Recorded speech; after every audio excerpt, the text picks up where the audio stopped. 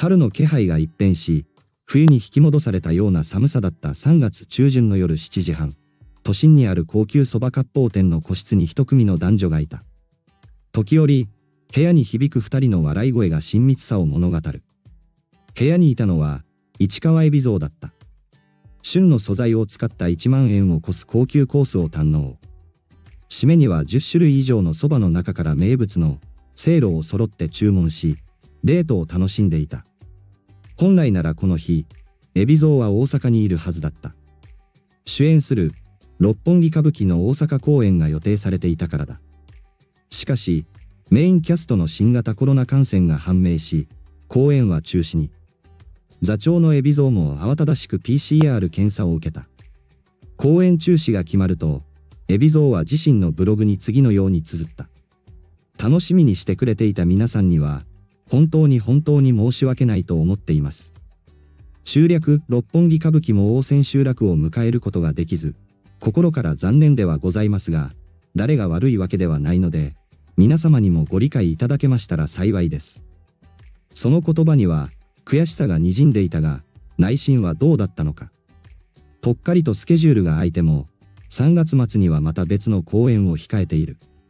これ以上の中止でファンを落胆させないよう、海老蔵は感染対策を徹底しているものと思われたが、実際には女性と食事を共にし、その夜の仰せは深夜まで続いた。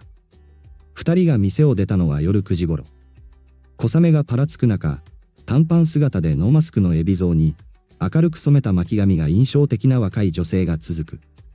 高級会社に乗り込むと、海老蔵の運転で、芸能人御用達のダイニングバーに移動した。過去に海老蔵がテレビ番組で、お気に入りとして紹介したことがある店だ。ところが、海老蔵たちが到着する直前に、閉店。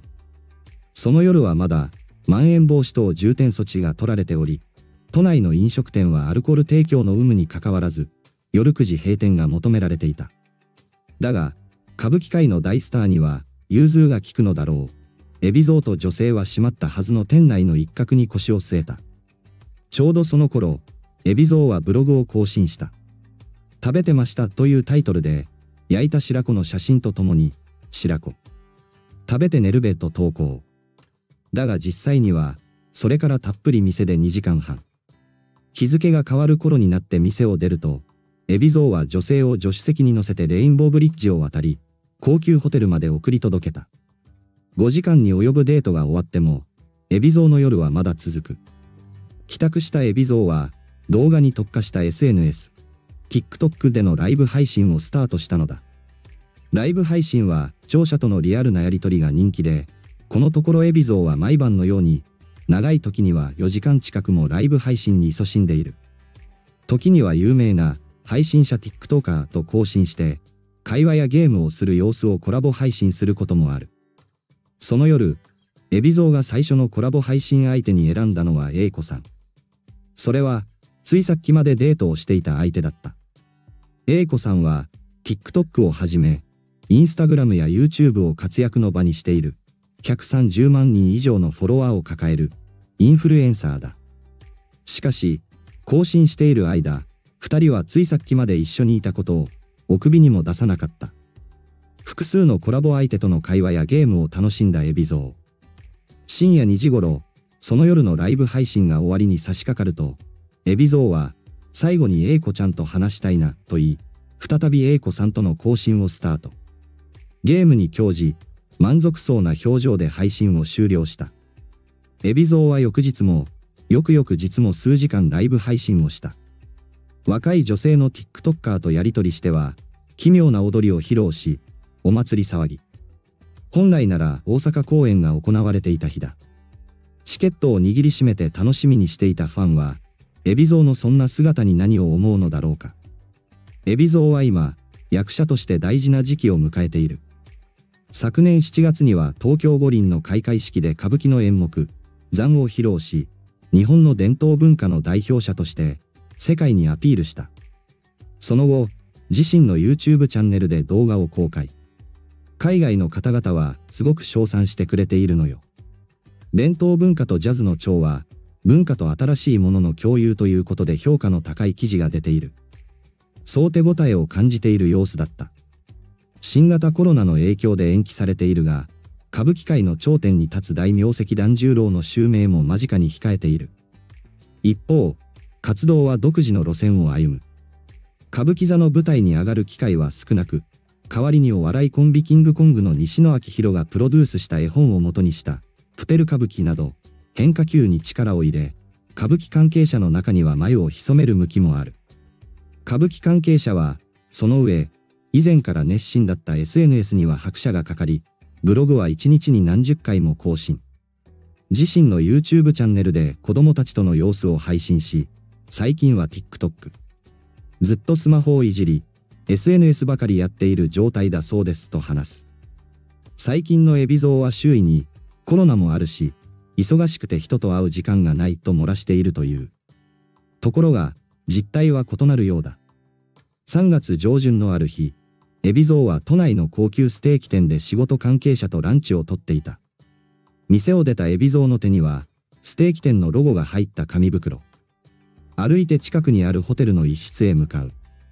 その直後、黒の革ジャンに黒のパンツというカジュアル内で立ちのビービさんがその部屋へと入った。20代後半のビービさんは、ロングヘアを巻いてはいるが、前述した A 子さんとは別の女性だ。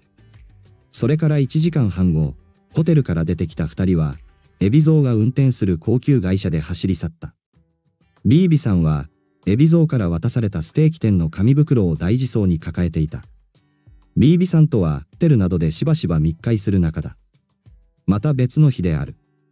3月11日から3日間、海老蔵は福岡で地方公演を行った。公演前日の10日に福岡入りすると、夕方には本番会場での稽古に励んでいた。その頃、海老蔵が宿泊するホテルに、20代前半のシーコさんがチェックインした。部屋は海老蔵と同フロアで、すぐ近く。やはりロングヘアの巻き髪ながら、少し幼さを残す顔立ちには、A 子さんとも B ビさんとも異なる印象を覚える。フェミニンなグレーのロングコートの下に黒いロングベストを着て、胸元と右手にはシルバーアクセサリーが光る。稽古を終えてホテルに戻った海老蔵は、自分の部屋で一息つく暇もなく、シーコさんが待つ部屋へと消えていった。芸能関係者は、海老蔵さんは、SNS のメッセージ機能を使って一般の女性やインスタグラマー、TikToker などに声をかけて、会う約束を取り付けているようです。平たく言うと、SNS ナンパで、多重交際をしているんですと話す。